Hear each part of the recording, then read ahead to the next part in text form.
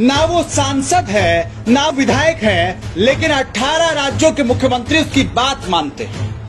लोकेंद्र सिंह कालवी को इन पाँच कारणों से नहीं भूल पाएगा राजस्थान का राजपूत समाज। राजपूत कर्णी सेना के संस्थापक स्वर्गीय लोकेंद्र सिंह कालवी इस दुनिया में नहीं रहे, लेकिन लोगों के दिलों में वे हमेशा ज़िंदा रहेंगे।